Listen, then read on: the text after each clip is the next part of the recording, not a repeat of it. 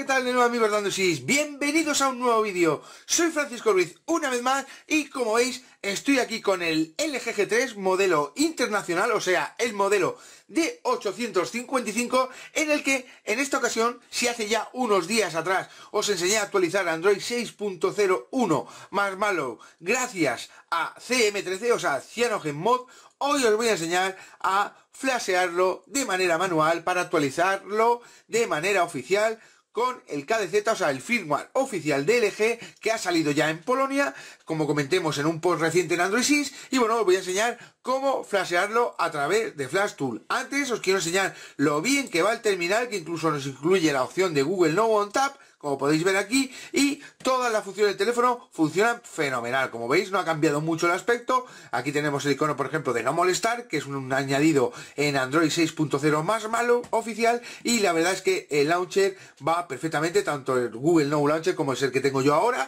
como el launcher oficial de LG. Bien, como veis, si nos vamos a los ajustes del terminal, veis que el terminal es muy fluido, ha ganado mucho en autonomía de batería y bueno, aquí podéis ver que si nos vamos acerca del teléfono, tenemos eh, en la opción de información de software, vais a ver cómo tenemos la versión de Android 6.0, es la versión oficial eh, lanzada en Polonia, la versión oficial de LG, lanzada en Polonia, no lleva ROM ni lleva nada, simplemente vamos a tener que descargar un archivo KDZ que pesa más de un giga y bueno, lo vamos a tener que flashear por Flash Tools, tal y como os explico a continuación. Deciros que va fenomenal, eh, tanto la cámara, el almacenamiento interno, todo funciona a la perfección, funda, quick circle, etcétera, etcétera. Y como veis aquí, eh, incluye nuevas opciones como la opción de ahorro de energía, eh, desde aquí vamos a poder controlar toda la batería de nuestro terminal y la opción de memoria donde nos vemos lo que nos queda libre o la opción de aplicaciones,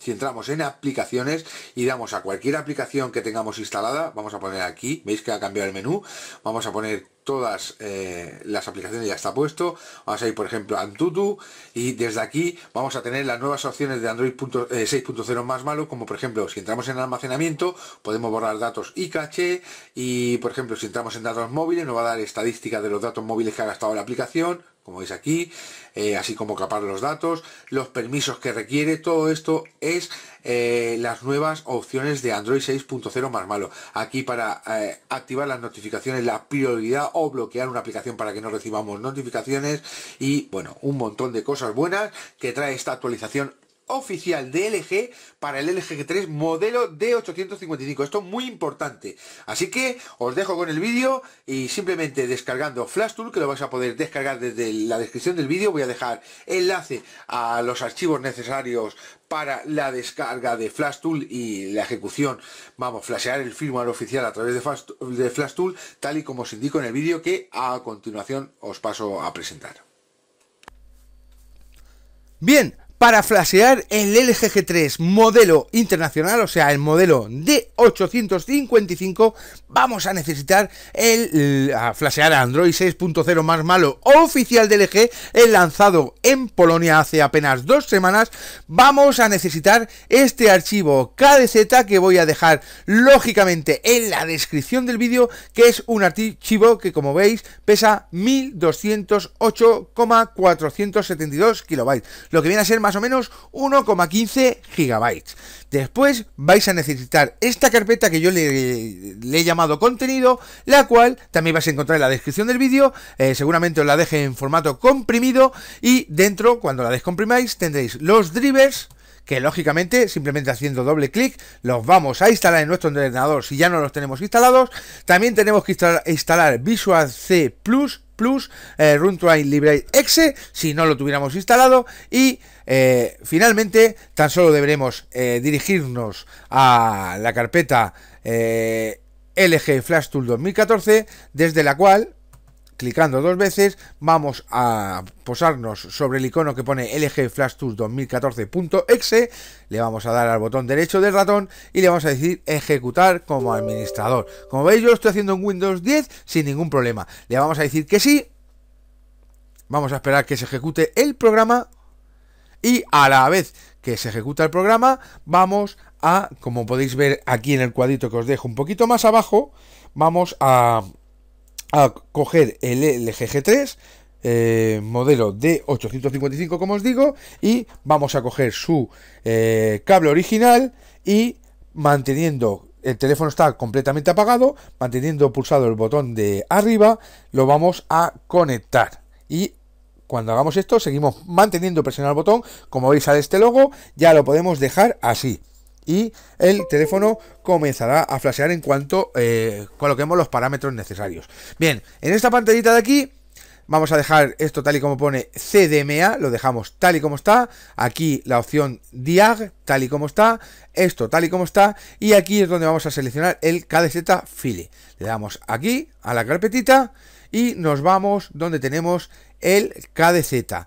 Eh, yo lo tengo dentro de la carpeta contenido y como veis es este de aquí abajo, el d 855 30B001217.kdz. Le clicamos dos veces y ahora podemos hacer un normal flash o CSE flash. Yo aconsejo clicar en CSE flash. Vamos a borrar en los dos sentidos todo lo que tengamos en el terminal, tanto nuestras aplicaciones como datos le damos a CSE Flash y se nos aparece esta pantallita donde simplemente vamos a tener que darle a Start. Esperamos un poquito. Y como veis ahora nos sale esta pantallita donde eh, vamos a clicar primero aquí en el botón primero, Clear Phone Software Update Registry. Le damos aquí, damos a aceptar y ahora simplemente vamos a donde pone Country y seleccionamos diferente para aquí abajo donde pone lenguaje, seleccionar lógicamente el lenguaje español, que es el lenguaje que a nosotros nos ocupa hoy. Eh, simplemente ahora tan solo quedará en clicar en el botón OK y esperamos sin tocar nada y lógicamente sin desconectar el terminal. Y como veis ya nos sale aquí el LG Mobile Support Tool donde va a comenzar a flashear el terminal. Primero eh, está mirando todos los ajustes del terminal y luego se conectará a la bola del mundo que veis aquí arriba. Y eh, tengo que deciros que ahora dará error porque yo lo tengo en modo offline o sea, mi terminal no se tiene, mi ordenador no se tiene que conectar al servidor de LG para comprobar nada, como veis pone error, pero si veis en el vídeo, el terminal ha comenzado ahora mismo a flashear. Como podéis ver aquí, ya pone con 8 y la barra de progreso comenzará enseguida a flashear. Como veis aquí, ya empieza a flashear el firmware. Vosotros, esto no os va a salir error, simplemente continuará el proceso por aquí y cuando acabe esto hay que dejarlo simplemente eh, sin tocar nada hasta que el proceso termine. Como podéis ver aquí, cuando el proceso llegue al final, el terminal se reiniciará y una vez se haya reiniciado por completo, ya podremos desconectar el terminal. Pero tenemos que esperar a que la barrita está de progreso, que como veis no va despacio, o sea, va bastante rápida, llegue hasta el final y el terminal se reinicie solo. Y sobre todo, no hay que tocar para nada la conexión USB, ya que si ahora soltáramos el cable, tendríamos un bonito ladrillo, un brick del terminal. Esto es muy importante. Así que recordarlos. Si queréis hacerlo así como yo lo hago en modo online para evitaros el paso de que se conecte a los servidores de LG, también lo podéis hacer. Voy a dejar en la descripción del vídeo también un enlace donde os voy a poner a un tutorial donde os explico cómo conseguir que FlashTool eh, trabaje en modo offline. Es un tutorial que hice hace bastante tiempo, explicado paso a paso, que es un post escrito en Android 6 y desde el cual no vais a tener ningún problema para hacerlo así en modo offline. Aunque ya os digo que lo podéis hacer perfectamente en online, ya que es una ROM oficial, es un firmware oficial y LG Flash Tool os va a dejar perfectamente eh, instalar este KDZ ya que es un firmware oficial de LG.